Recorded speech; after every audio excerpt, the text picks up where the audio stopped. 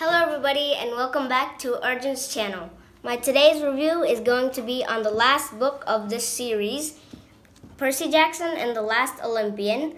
So in this series, I, there's the five books, Percy Jackson and the Lightning Thief, the Sea of Monsters, the Titan's Curse, and the Battle of the Labyrinth. So my, my fifth book review is going to be in this video. So, like I have said in all of my book review videos, that I always like adventurous, thrilling books, and this book is another of one of them war books. Like in the Battle of the Labyrinth, I've said that there's a big war at the end. And here, there's an even bigger war in the end. And then, like, all the gods, like, give Percy Jackson, uh, they, they just say that you can uh, ask one thing and then we'll just grant you that wish. And they literally swear on the river Styx. It's like a big, um, it's a river of the, um, it's, it's the river of the underworld. And uh, if you like swear on it, then if you don't keep that uh, promise, if you don't keep that oath, then you literally die. But like slowly, it's like a slowly death. so um, in this book, it starts with a, a chapter called go cruising with explosives. So what he does in this book, uh, there's a camper, one of his friends, Beckendorf. That uh, he and Percy, they uh, they go to they go to like blow up a ship full of monsters. The the ship had like a lot of monsters in them. So like um it starts like the end of the world started when a Pegasus landed on the hood of my car. This is a little weird. This is actually a very weird start. I don't know if I would like it or not, but I'm not gonna tell you anything. I'm just gonna just go to the main thing where it starts. The blowing up thing start. Yeah, here. So Beckendorf says, you know what to do.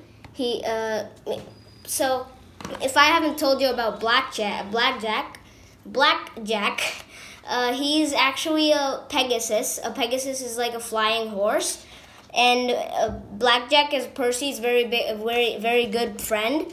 So over here, um, they both are on Blackjack, and they're going to the ship with explosives, and they're gonna blow it up. And then uh, they go, and then Beckendorf tells Percy, you know what to do, and then uh, Percy says, Percy nods. Uh, that's like Yes, he knows. And then they go, and when they land on the ship, uh, they start sneakily going to the in- engine room. Beckendorf says he'll uh, arm all the explosives, and Percy has to lure all the monsters away.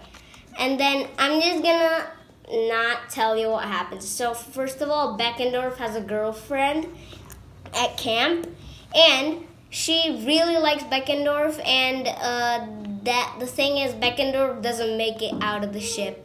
The ship blows away and he doesn't come. So after that, uh, her his girlfriend's name is Selena Burgord something. I don't remember. I don't know how to like pronounce her uh, last name.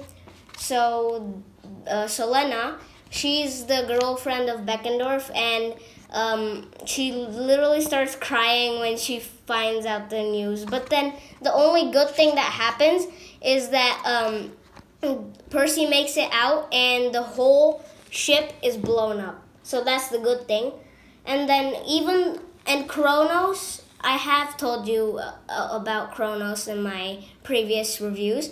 So Kronos is like the father of the gods, big 3, and he he was literally returning and he was in that ship. So um, these guys, Percy and Beckendorf, literally blow up the ship, but Kronos can't be destroyed that fast. So Kronos makes it to Olympus, but in the end, in the war, in the end, um, they literally uh, Kronos is like, "We will destroy them." Kronos roared. So what happens? Uh, Kronos attacks Olympus while all the gods are busy trying to de- uh, defeat another very big enemy of theirs. And that enemy is Typhon. Now, if I tell you about Typhon, he is literally the worst and biggest and most powerful monster in the whole wide world. He he Typhon literally came so close to defeating all the gods very quickly. But then the okay, yeah, I'm not telling you why they won because you're not gonna read the book. Okay, so this is how much I'm gonna tell you about my review. Over here, they've given a summary, a little bit fun summary. Most people get presents on their 16th birthday. I get a prophecy that could save the save or destroy the world. Oh my! It happens when you're a son of Poseidon, god of the sea. According to an ancient prophecy, I turn 16 and the fate of the entire world is on me. But no pressure. So, it's like Percy, the only person who can defend or destroy uh, Olympus, is a is a son or daughter of the big three gods, which is uh, Zeus, Hades, and Poseidon. So Percy is a son of Poseidon, which is why he can either destroy or preserve um, Olympus. So this is my summary for the last book.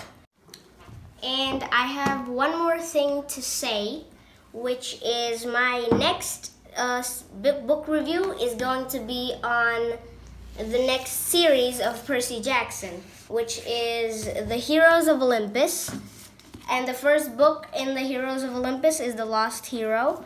The second book is The Son of Neptune. The third is The Mark of Athena. The fourth is The House of Hades and the fifth is The Blood of Olympus. So all of these books are just like the Percy Jackson series and they are all just as thrilling and I would highly recommend these books to you.